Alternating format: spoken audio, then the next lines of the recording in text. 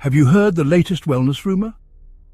Supposedly, eating too much protein turns your steak into sugar, making your high-protein meal no better than a donut. This myth has sparked protein phobia, especially in low-carb circles, where people obsess over every extra gram of chicken or egg, fearing it will sabotage ketosis. The idea is that your body is just waiting to flood your system with glucose from protein, but is there any truth to this? Yes. The body can make glucose from non-carbohydrate sources, a process called gluconeogenesis. But the myth exaggerates this into a metabolic disaster. Evolutionarily, it makes little sense for our bodies to waste precious protein by turning it into sugar when fat is available for energy. As we'll see, our bodies are far more efficient and sensible than these modern myths suggest. Gluconeogenesis, literally making new sugar, lets your liver create glucose from things like lactate, glycerol, and certain amino acids. This isn't a flaw, it's a survival mechanism, ensuring your brain and red blood cells get the glucose they need, even without carbs. Here's the key. Gluconeogenesis is mostly demand-driven, not supply-driven. Your body only converts protein to sugar when blood glucose drops too low, not just because you ate a big steak. Think of it like a thermostat. The heat only kicks in when needed. Research shows the body prioritizes amino acids for building and repair, not for fuel. Using them for glucose is a last resort. This process ramps up during fasting or extreme low-carb diets, not after every protein-rich meal. The myth ignores how tightly regulated this system is.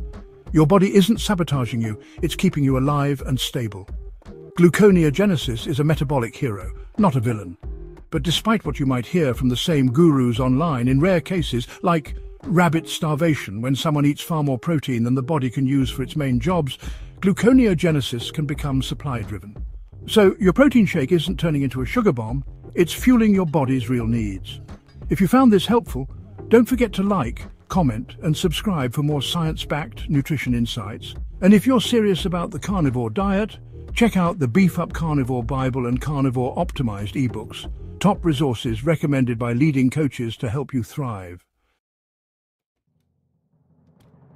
If protein really turned into sugar, we'd see blood sugar spikes after high-protein meals, but studies by Drs. Nuttall and Gannon found no significant increase in blood glucose after participants ate large amounts of protein. Blood sugar stayed stable, contradicting the myth.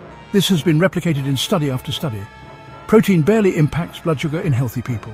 Protein does trigger a small insulin response, but nothing like the chaos carbs can cause. Gluconeogenesis only ramps up during fasting or true energy need, not after a steak dinner. Even in type 2 diabetes, protein doesn't cause dangerous blood sugar spikes. The evidence is clear. High protein meals don't equal high blood sugar. The myth simply isn't supported by science. So why do some people feel jittery or sleep poorly when starting a low-carb or carnivore diet? It's not the protein, it's the hormonal shift as your body adapts to less carbohydrate. Cutting carbs triggers stress hormones like cortisol and adrenaline, which mobilize energy and kickstart gluconeogenesis. This can make you feel wired or anxious, but it's a temporary adaptation, not a protein problem. Your body is learning to burn fat and ketones for fuel, running two systems at once. Managing electrolytes and staying hydrated can ease this transition. Don't blame the protein, it's just along for the ride. Once adapted, most people feel stable and energetic. Dr. Jose Antonio's team put the protein to sugar myth to the test by having people eat massive amounts of protein, up to 4.4 grams per kilogram of body weight. That's over 350 grams a day for some participants on top of their normal diet. If the myth were true, they should have gained fat rapidly. But they didn't. Despite the calorie surplus, participants gained almost no body fat. Instead, some even gained muscle, without extra training. The body didn't convert all that protein to sugar and fat, it used it for muscle and ramped up metabolism. These studies are a direct refutation of the myth. Even extreme protein intake doesn't automatically lead to fat gain. Why didn't Dr. Antonio's subjects gain fat? Enter the thermic effect of food, TEF. Protein requires 20-30% of its calories just to be digested and processed, far more than carbs or fat, so eating protein gives you a calorie discount. High-protein diets boost metabolism, making weight loss and maintenance easier. Protein also preserves muscle during weight loss, keeping your metabolic rate higher. More muscle means more calories burned at rest, plus protein is the most filling macronutrient, reducing hunger and overall calorie intake. Quick question for you. What's your experience with high-protein diets? Drop your thoughts in the comments below. And if you want the best written resources on the carnivore diet, check out the Beef Up Carnivore Bible and Carnivore Optimized ebooks, both endorsed by top carnivore coaches. It's a triple win, burns more calories, protects muscle and keeps you full. That's why protein is so effective for healthy body composition. Don't fear it, leverage it. The carnivore diet is a real-world test of the protein-sugar myth. With almost zero carbs and high protein, followers should have high blood sugar, if the myth were true. But long-term carnivores report stable, low blood sugar and good metabolic health. Why?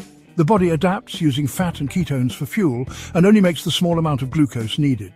Gluconeogenesis becomes a precise, demand-driven process, not a runaway sugar factory. Protein is used for repair, not wasted as sugar. The carnivore experience debunks the myth. High protein doesn't mean high blood sugar. The body is smarter than that. Let's recap and finally bury this myth. Gluconeogenesis is demand-driven, not triggered by eating protein. Studies show high-protein meals don't spike blood sugar. Adaptation symptoms on low-carb diets are hormonal, not a protein problem. Overfeeding studies prove even massive protein intake doesn't cause fat gain. Protein boosts metabolism, preserves muscle, and keeps you full. It's a partner in fat loss, not an enemy. The next time you hear someone warn about protein turning into sugar, remember? It's a myth. Your body values protein too much to waste it. Enjoy your steak, guilt-free. The myth is busted. Protein won't turn you into a sugar factory. Science shows protein is essential for muscle, metabolism and appetite control. Free yourself from protein phobia. Make high-quality protein the foundation of your meals. Listen to your body and consult a professional if you have health conditions. Don't accept dietary dogma. Look at the evidence and experiment for yourself.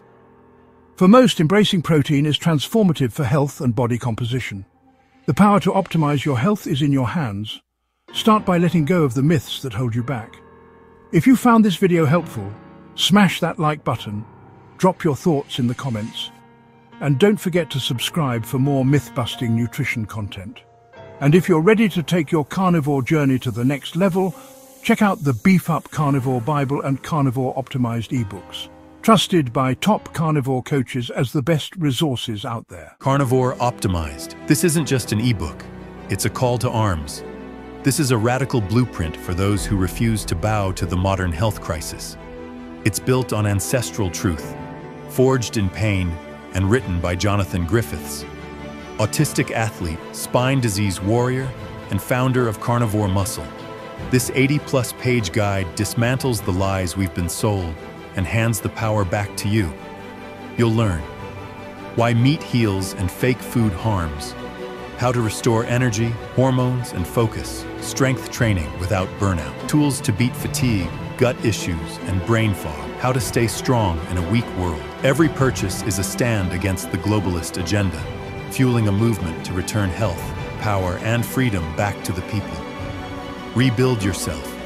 Reclaim your fire. Own your biology. Download now